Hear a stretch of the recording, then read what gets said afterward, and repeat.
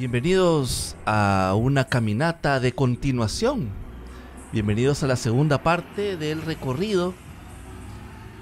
sobre la avenida Roosevelt de San Miguel.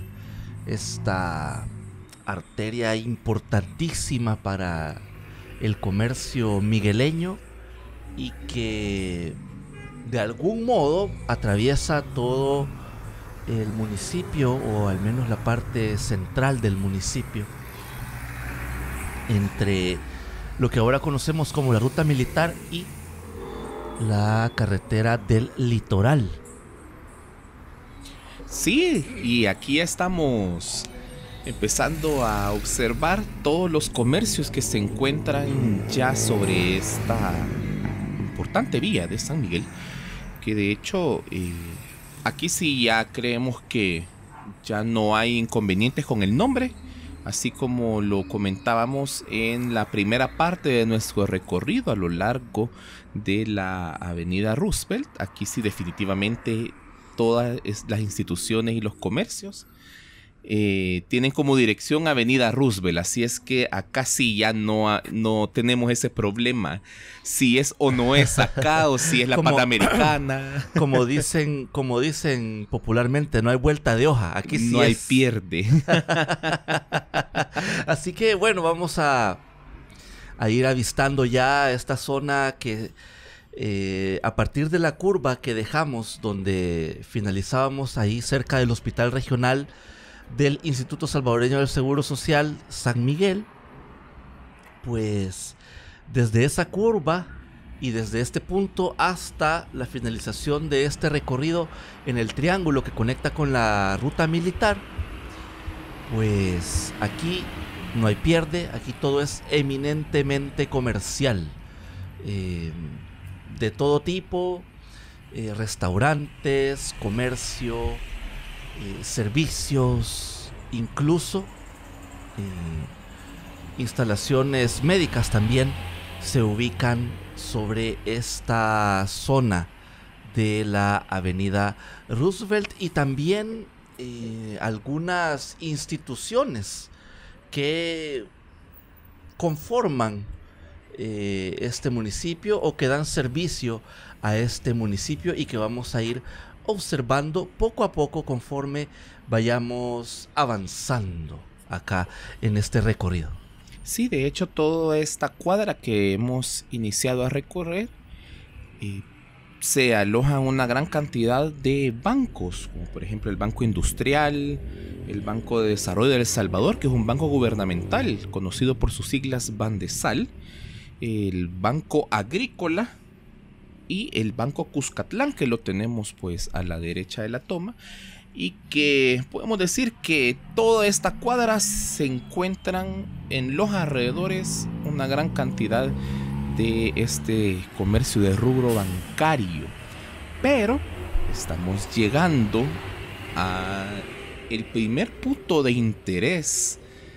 de este recorrido, que es lo que tenemos ahí en pantalla. Definitivamente este es uno de los lugares deportivos más importantes de la ciudad, que es el Estadio Miguel Félix Charlé. Un espacio de alrededor de 43 mil metros cuadrados de extensión. Es un espacio bastante grande. Con canchas para distintas disciplinas deportivas.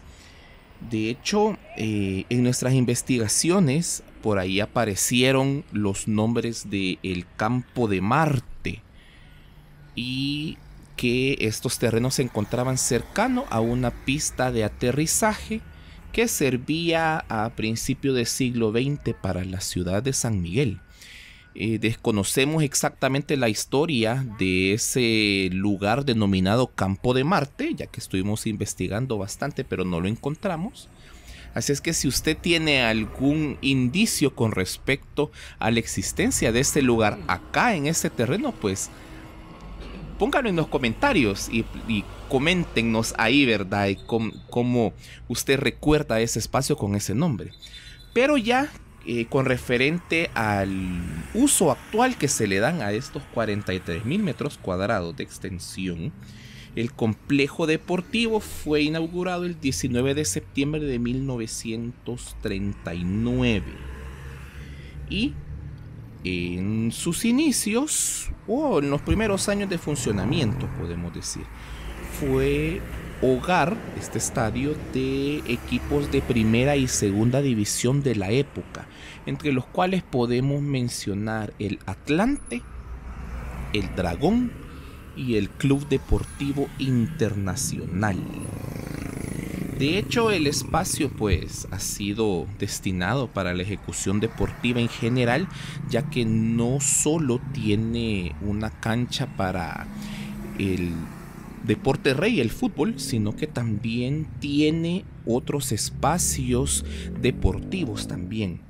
Eh, a lo largo de la historia, desde que se funda este lugar, ha tenido unos cuantos nombres, como por ejemplo fue conocido como el Estadio Oriental y posteriormente el Estadio Escolar. Pero hasta años recientes es que se le cambia el nombre al que conocemos ahora en honor a este gran personaje de la historia migueleña, el precursor de el Carnaval de San Miguel, una figura social y política de gran importancia para la historia migueleña, y pues se le asigna el nombre a él. Adentro de este predio se encuentran nueve canchas para ejecutar fútbol sala, básquetbol, softball, fútbol rápido, se encuentra en un puesto de la Policía Nacional Civil, se encuentra en las oficinas administrativas del complejo, un parqueo y una cancha de fútbol reglamentaria rodeada de una pista de atletismo. Pero este espacio no solamente ha sido utilizado eh, para la ejecución de todos estos deportes, sino que también para conciertos. Hay una gran cantidad de artistas nacionales e internacionales que cuando hacen su gira por la región o por el continente y visitan la ciudad o visitan el país, pues este es el lugar en donde se realizan esos conciertos. Además, también que en los últimos años se han realizado acá la elección de la reina del carnaval de San Miguel. Y en el marco de este carnaval tan famoso, el lugar, el espacio del Estadio Charle es el destino para la presentación de artistas internacionales que vienen a deleitar a todas las personas que vienen a visitar el carnaval. En, esa, en ese momento importante de la vida migueleña en noviembre, eh, sí, definitivamente se convierte pues en el escenario principal de el Carnaval de San Miguel, que es este eh, esta fiesta musical eh, que rodea o atraviesa toda la avenida Roosevelt y que, eh, bueno, como ya lo mencionaba Omar, pues tiene como su escenario principal o lo más fuerte en el estadio Miguel Charlet. Así que bueno, aquí eh, vamos caminando, avanzando sobre este esta arteria importante y bueno ya empezamos a observar también que en esta parte hay mucho desarrollo inmobiliario mucho más moderno y eh, también de notar que estamos ya en la cuadra que eh, nos indica uno de los puntos turísticos más importantes o, uno, o un punto de alojamiento turístico más importante de la zona oriental y de San Miguel, el Hotel Trópico Inn, el punto neurálgico de la vida nocturna y eh, del turismo de San Miguel que comienza pues sus operaciones en 1976 eh, y que bueno conforme el tiempo pues se ha ido renovando, expandiendo, mejorando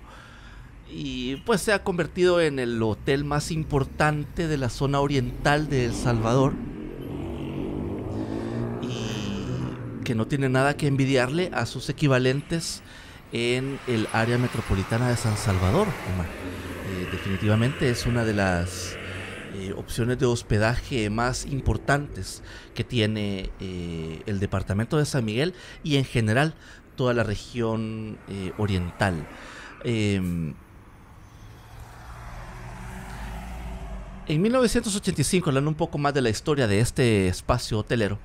luego de un proceso de cierre, se funda la Sociedad Turística de Oriente, SADCB. Desde los inicios del hotel ha estado ubicado en una zona de alto valor comercial en la ciudad, que es esta Avenida Roosevelt. En aquel entonces eh, se vislumbraba que esta zona sería un polo de desarrollo para la ciudad.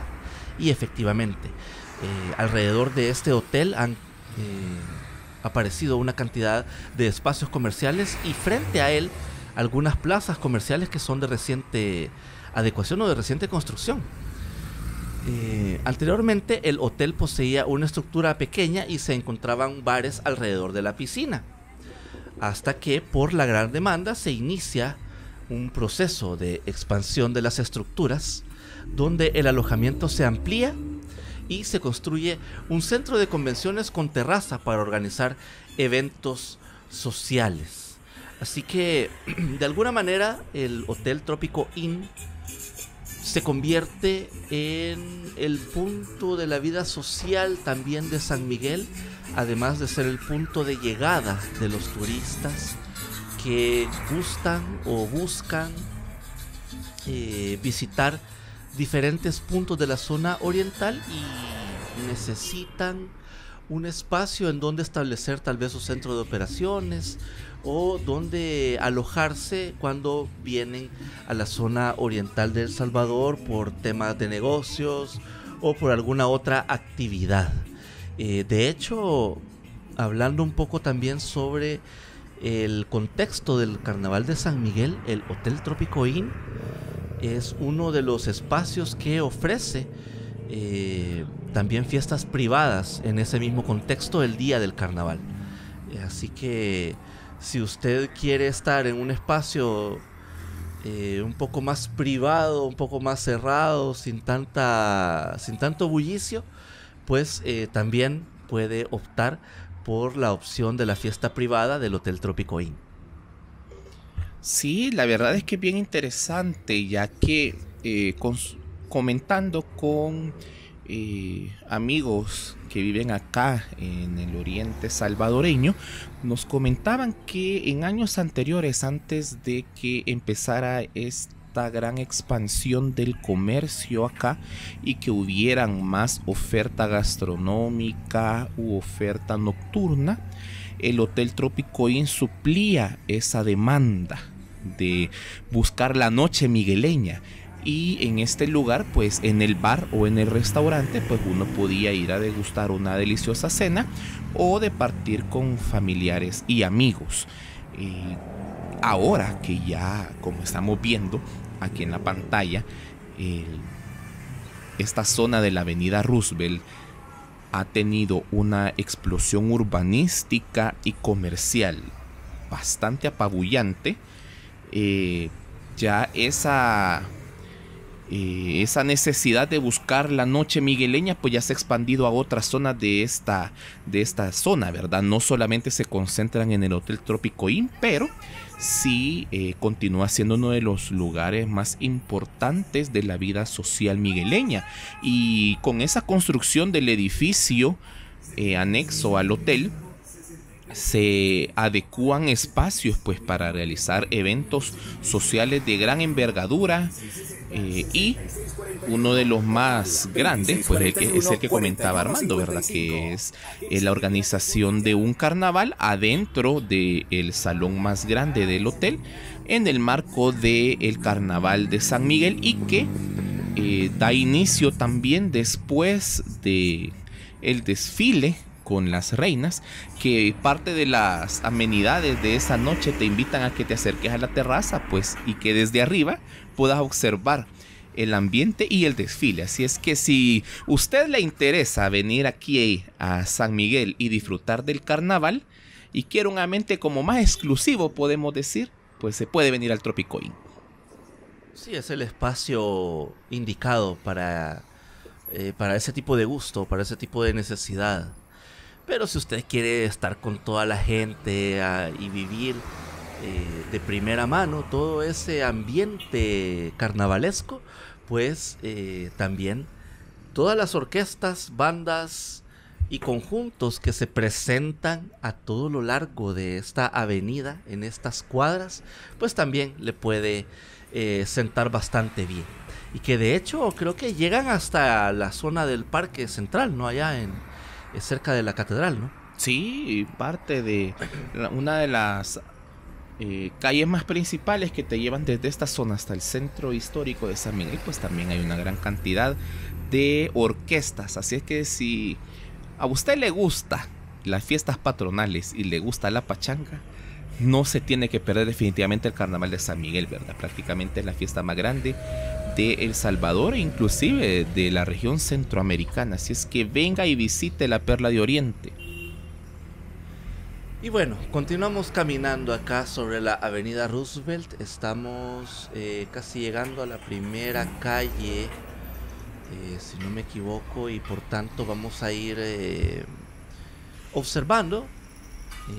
un espacio, uno de los primeros espacios como abiertos que hay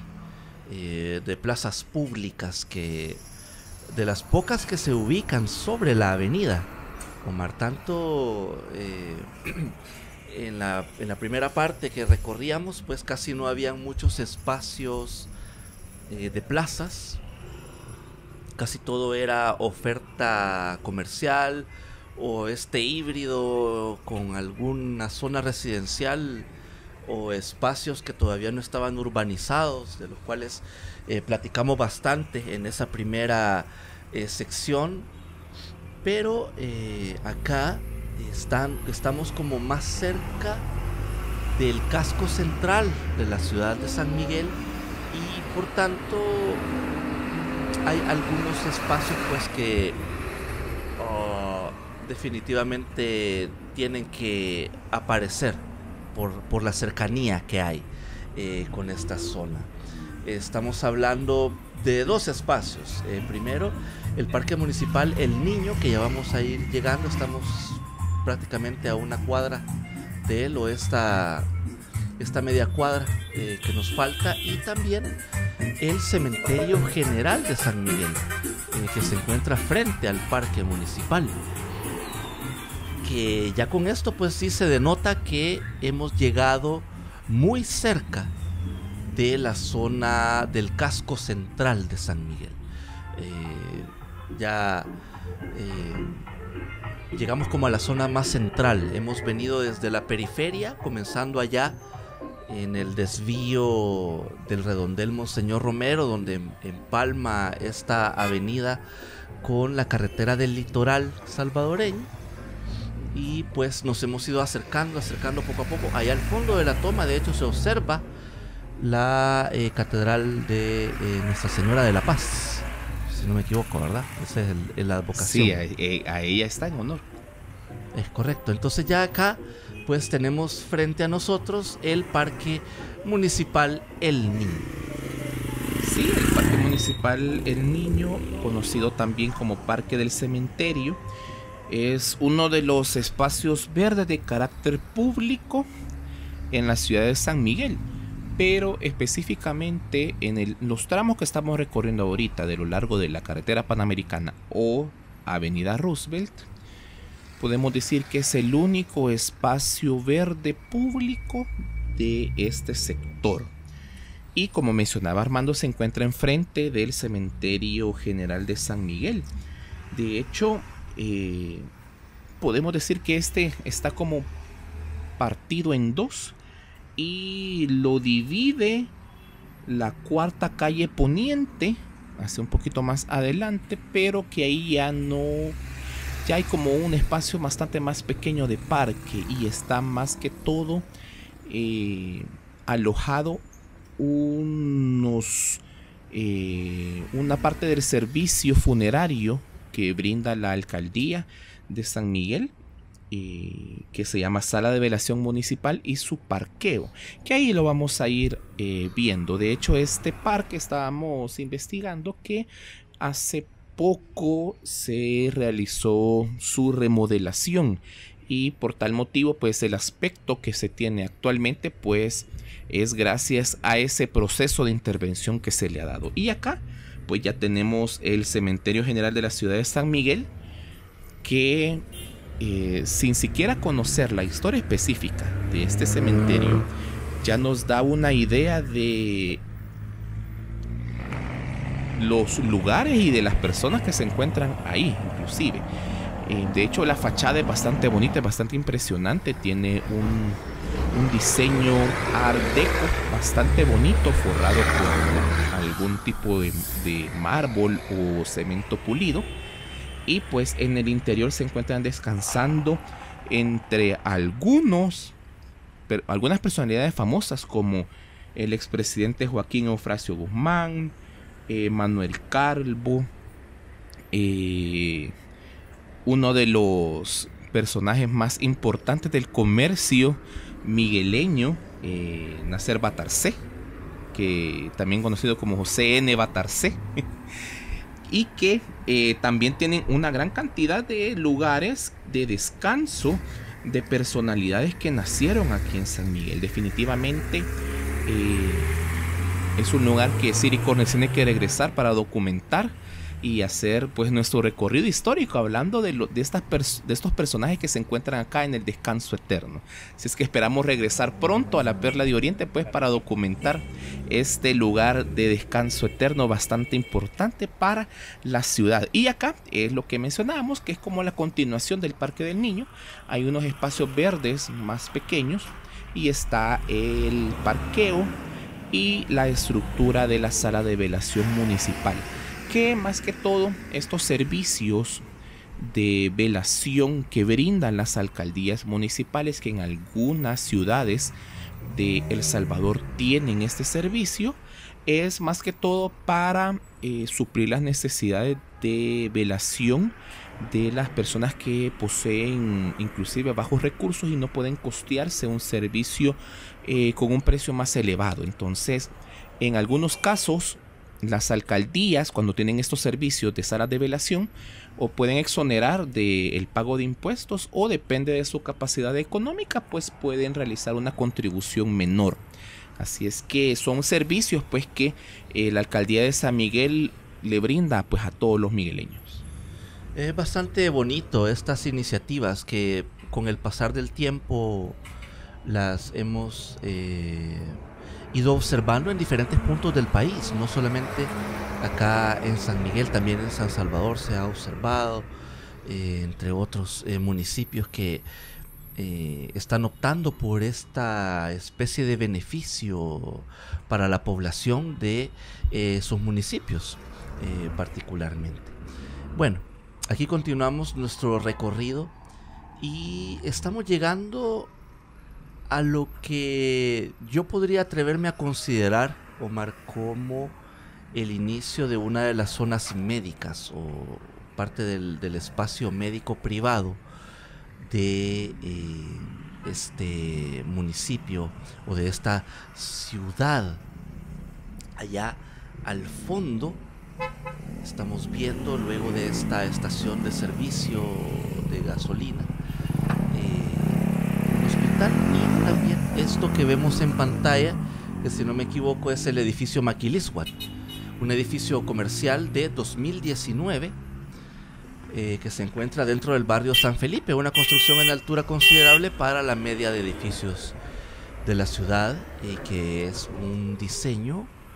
del el arquitecto Elías Antonio Reyes. Eh, entre los inquilinos importantes de este lugar se encuentra la Academia Panamericana de Alta Cocina, si no me equivoco, o de Arte Culinario creo que se llama, mejor conocida por su sigla APAC, eh, que tiene su sede de San Miguel en este lugar. Así que... Eh, ah, y bueno, eh, ya en pantalla sí ahora ya, lo tenemos, detrás de la gasolinera pues se encuentra el Hospital San Francisco, uno de los hospitales privados más importantes de San Miguel, el segundo edificio más alto de esta ciudad, por detrás de la eh, Catedral Basílica de Nuestra Señora de la Paz. Es un edificio que tiene aproximadamente 30 metros de altura. Y hablando un poco sobre la historia de este nosocomio privado, de este hospital, eh, pues fue fundado en 1959, específicamente un 3 de abril. Y está datado eh, y registrado en la historia salvadoreña como uno de los hospitales privados más antiguos en todo el territorio. Sin embargo, eh, que tenga esta antigüedad no significa de que no haya tenido un, una mejora y eh, la sede o el edificio que, estamos, que estábamos observando en pantalla, que ya nos estamos acercando a su lobby, a su frontispicio, eh, fue inaugurado recientemente, ya en este siglo XXI, el 15 de mayo de 2010. Así que ya con estas instalaciones más modernas y pues eh, con estos siete niveles eh, que tiene operativos el edificio del Hospital San Francisco. Y este nosocomio también eh, tiene dentro de su oferta médica o de servicios médicos, en primer lugar, un servicio de emergencias 24 horas, el servicio de laboratorio clínico, una unidad de hemodiálisis, además eh, cuenta con 12 salas, 12 eh, quirófanos o 12 salas de cirugía y eh, tiene la capacidad para 106 habitaciones para albergar pacientes en su interior. Y pues por esta razón mencionaba de que es uno de los hospitales privados más importantes de la zona de San Miguel. Sí, la verdad es que las, de las dos cabeceras más importantes y evitando hacer comparaciones, pero podemos ubicar a San Miguel como una de las dos cabeceras, la segunda y la tercera, más importantes del país que tiene la mayor cantidad de edificios altos que, aunque no superan eh, a la ciudad de San Salvador o al área metropolitana de San Salvador, pero ya empiezan las construcciones en altura. Eh, el edificio del Hospital San Francisco aún no llega a superar a las torres de la Catedral de Nuestra Señora de la Paz, pero ya es un indicio de la búsqueda de San Miguel por la construcción en altura, que prácticamente em, ya San Miguel podríamos decir de que ya puede ir buscando esa opción de construcción, eh, aunque debido, aunque no, no se le está acabando el espacio, pero eh, sí ya la ciudad tiene una capacidad bastante grande para iniciar este tipo de construcciones y definir un skyline bastante interesante. De hecho, eh, afuera del área metropolitana de San Salvador, la mayor cantidad de las cabeceras departamentales son prácticamente planas. Eh, no hay edificios en altura y los únicos son alguna estructura de monumento o la catedral o la iglesia principal de la ciudad. Entonces, eh, San Miguel sí va por ese rumbo de ir buscando las alturas, los cielos salvadoreños, ya con el ejemplo del Hospital San Francisco, el edificio nuevo del Trópico Inn. Atrás de Trópico Inn hay otro espacio de clínicas médicas que también tienen edificios altos. Entonces se va ahí creando una especie de edificaciones en altura bastante interesantes que posiblemente en las décadas que vienen pues ya se va a empezar a ver más construcciones en altura y esperemos que sí. Sí, sería de, ir ah, analizando esta evolución de las ciudades fuera del área metropolitana eh, y ver si habrá alguna transformación como ha sucedido también en muchas zonas del área metropolitana en donde espacios residenciales que tenían valga la redundancia, residencias de gran tamaño, o lo que alguien un poco más, podría decir, más popularmente podría denominar como mansiones, aunque por las dimensiones todavía no se pueden considerar como tal, eh, han ido dando paso a la construcción en esos terrenos para eh, crear condominios en altura y pues eh, poco a poco han ido cambiando el rostro de, de, la, de la zona del área metropolitana. Entonces posiblemente acá en San Miguel y en el resto de ciudades importantes de El Salvador eh, se pueda iniciar o pueda estallar este fenómeno en algunas partes donde es, sea posible hacerlo. De hecho, eh, recientemente hemos observado un desarrollo urbanístico un poco más a las afueras de este municipio, eh, bastante interesante también. Y bueno, ya estamos llegando a la zona eh, conocida como el Triángulo, esta división que empalma la avenida Roosevelt, la carretera panamericana y la vía que conocemos como la ruta militar. Y con esto, Omar, vamos cerrando ya este recorrido finalmente, en donde hemos conocido toda la longitud de la avenida Roosevelt en dos partes. Muchísimas gracias por habernos acompañado en este recorrido. Si usted es nuevo en el canal, bienvenido y suscríbase a este esfuerzo y también dele al botón de la campanita de notificaciones para estar siempre pendiente de todo lo que hacemos acá en City Corners, en donde recorremos todo el territorio salvadoreño y algunas ciudades de Centroamérica. Si a usted le gustó mucho este recorrido y nos quiere apoyar para seguir creando más, en la cajita de descripción y en el comentario fijado les dejamos todos los enlaces para que usted lo pueda hacer a través de una donación y de esa manera pues ir llegando a más y más lugares en El Salvador y Centroamérica. Así que acá, en la zona del triángulo, entre la ruta militar, la avenida Roosevelt y la carretera panamericana, nos despedimos de ustedes y nos vemos hasta la próxima. Cuídense mucho.